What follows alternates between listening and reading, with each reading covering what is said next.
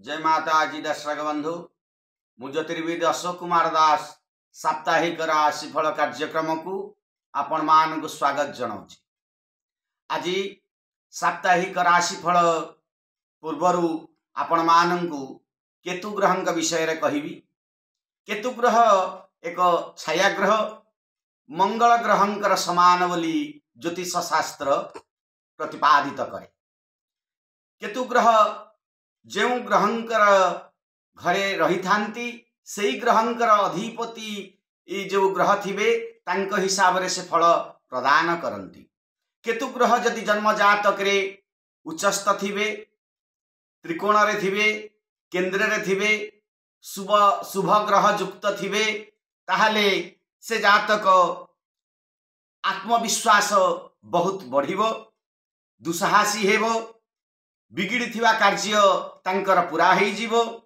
ମାନସିକ ଚିନ୍ତା ଦୂର ହେବ। ଶତ୍ରୁମାନଙ୍କ ପାଖରୁ ସେ ବିଜୟ ପ୍ରାପ୍ତ କରିବେ। ସାମାଜିକ ସ୍ତରରେ ମାନ ସମ୍ମାନ ବୃଦ୍ଧି ପଦୋନ୍ନତି ଧାର୍ମିକ ଭାବନା ମନରେ ଜାଗ୍ରତ ହେବ।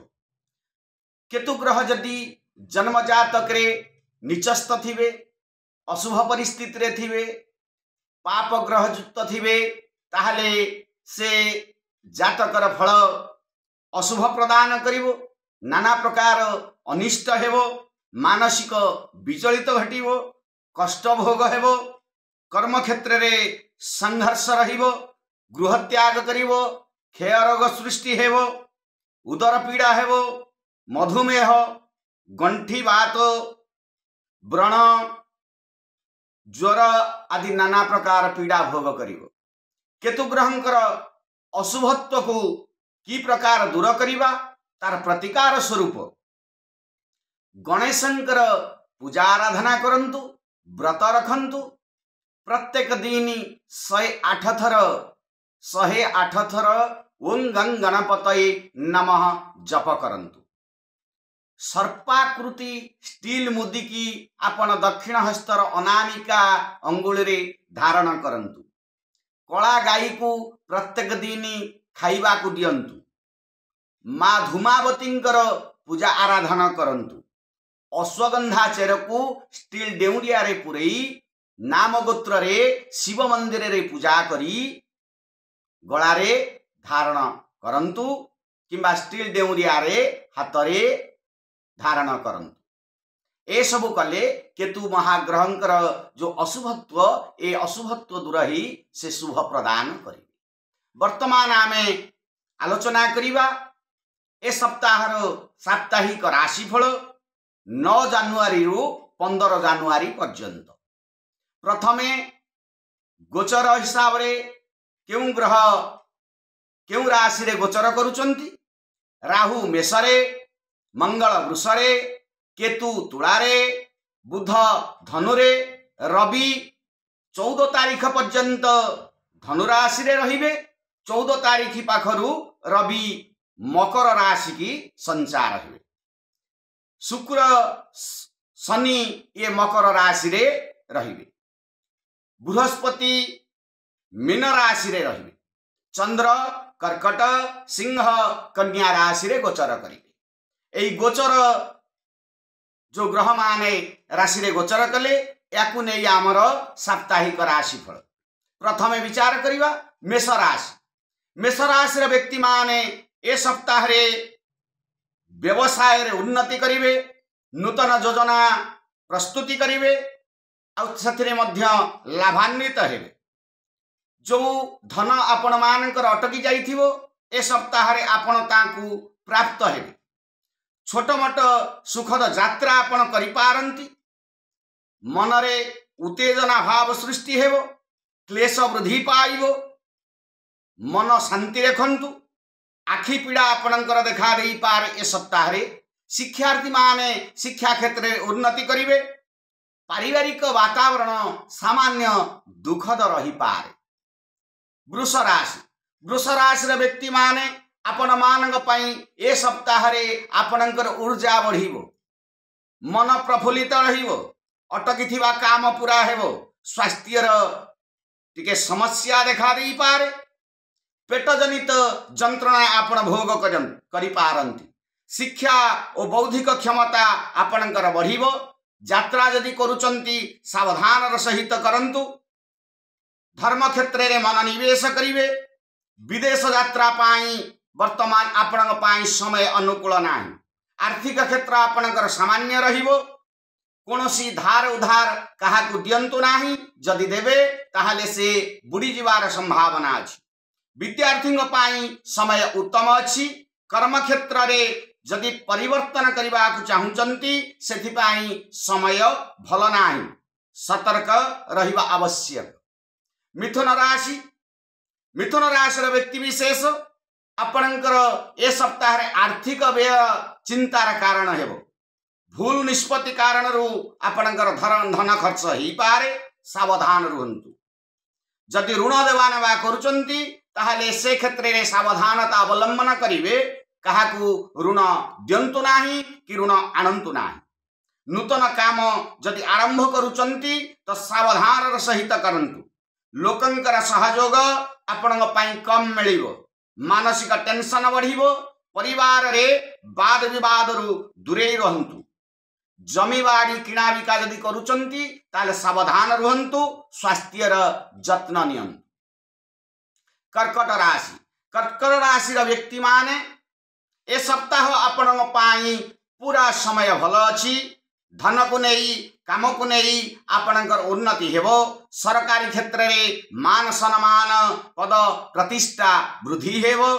ଯେଉଁମାନେ ନୂତନ ଚାକିରି କରିବା ପାଇଁ ଆଶାୟୀ ଅଛନ୍ତି ସେମାନେ ନୂତନ ଚାକିରି ପାଇଁ ଚେଷ୍ଟା କଲେ ନିଶ୍ଚିନ୍ତ ଭାବରେ ନିଯୁକ୍ତି ପ୍ରାପ୍ତି ହେବେ।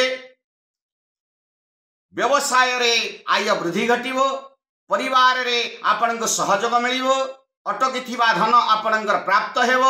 ପୂର୍ବରୁ ଯେଉଁ ବାଦ ବିବାଦ ଲାଗିଥିବ ଏ ସମୟରେ ଆପଣଙ୍କର ଅନ୍ତ ଘଟିବ। ବିଦ୍ୟାର୍ଥୀଙ୍କ ପାଇଁ ସମୟ ଉତ୍ତମ ଅଛି ଦାମ୍ପତ୍ୟ ଜୀବନ ସୁଖମୟ ରହିବ।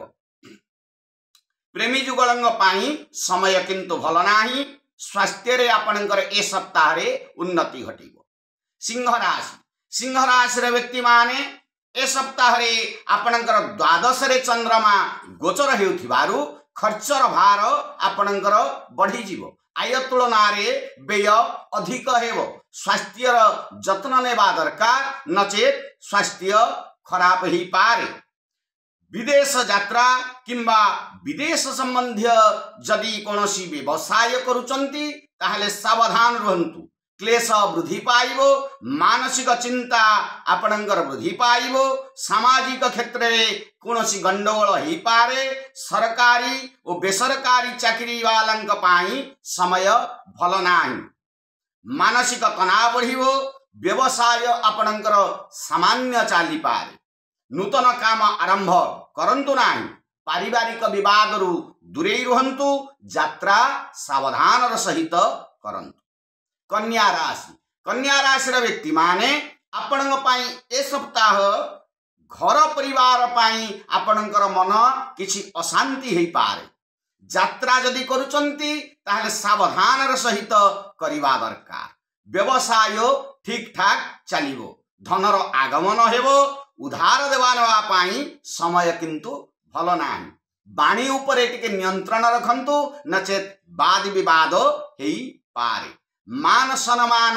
ପଦ ପ୍ରତିଷ୍ଠା ଏସବୁ ଆପଣଙ୍କର ବୃଦ୍ଧି ପାଇବ ବିଦ୍ୟାର୍ଥୀ ମାନଙ୍କର କୌଣସି କାରଣରୁ ମନ ଅଶାନ୍ତି ହେବ ତନାବଗ୍ରସ୍ତ ହେବ ବିଦ୍ୟା କ୍ଷେତ୍ରରେ ମନ ଲାଗିବ ନାହିଁ ପ୍ରେମୀ ଯୁଗଳଙ୍କ ପାଇଁ ସମୟ ଭଲ ନାହିଁ ବ୍ୟବସାୟୀ ମାନଙ୍କ ପାଇଁ ନୂଆ ନୂଆ ବିକଳ୍ପ ମନରେ ସୃଷ୍ଟି ହେବ ସ୍ୱାସ୍ଥ୍ୟର ଟିକେ ଯତ୍ନ ନେବା ଦରକାର ତୁଳା ରାଶି ତୁଳା ରାଶିର ବ୍ୟକ୍ତି ବିଶେଷ ଏ ସପ୍ତାହଟା ଆପଣଙ୍କ ପାଇଁ ଭଲରେ କଟିବ।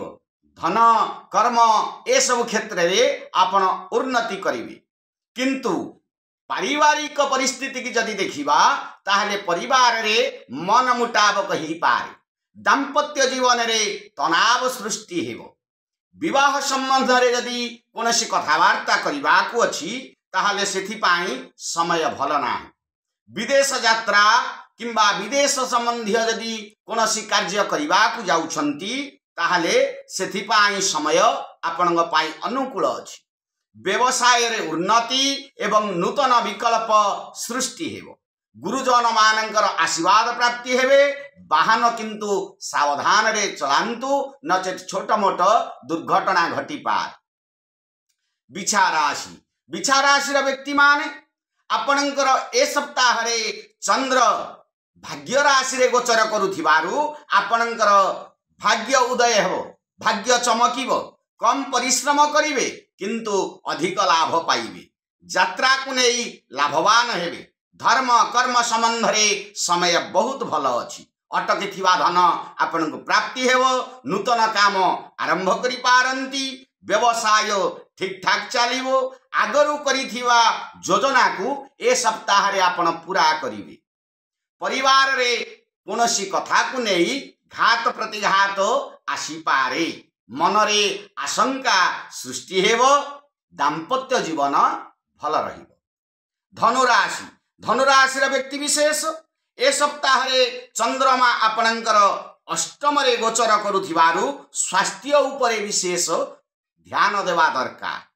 ସ୍ୱାସ୍ଥ୍ୟ ଖରାପ ହେବ ସନ୍ତାନମାନଙ୍କ ପାଇଁ ଚିନ୍ତା ବଢ଼ିବ ଯାତ୍ରାରେ ସାବଧାନତା ଅବଲମ୍ବନ କରିବା ଦରକାର ନୂତନ କାର୍ଯ୍ୟ ଆରମ୍ଭ କରିବା ପାଇଁ ସମୟ ଭଲ ନାହିଁ କୌଣସି କ୍ଷେତ୍ରରେ ଧନ ବ୍ୟୟ ହେଇପାରେ କରଜ ଯଦି ଦବା ନବା କରୁଛନ୍ତି ତାହେଲେ ସାବଧାନ ସହିତ କରନ୍ତୁ ନଚେତ୍ ଠକି ଯାଇପାରନ୍ତି ପୈତୃକ ସମ୍ପତ୍ତିକୁ ନେଇ ଆପଣଙ୍କର ବାଦ ବିବାଦ ଦେଖାଦେବ ମକର ରାଶି ମକର ରାଶିର ବ୍ୟକ୍ତି ବିଶେଷ ଆପଣଙ୍କ ପାଇଁ ସପ୍ତମ ଭାବରେ ଚନ୍ଦ୍ରମା ଗୋଚର କରୁଥିବାରୁ ଆପଣ ବେଶୀ ଭାବୁକତା ବନିବେ ସେଇ ଭାବୁକତା କାରଣରୁ ଆପଣ ଅସୁବିଧାରେ ପଡ଼ିବେ କାହାକୁ ସାହାଯ୍ୟ କରିବା ଭଲ କିନ୍ତୁ ଧାର ଉଧାର ଦିଅନ୍ତୁ ନାହିଁ ଯଦି ଧାର ଉଧାର ଦେବେ ତାହେଲେ ନିଶ୍ଚିନ୍ତ ଭାବରେ ଆପଣ ସେ ପଇସା ପାଇବାରେ କଷ୍ଟ ହେବ।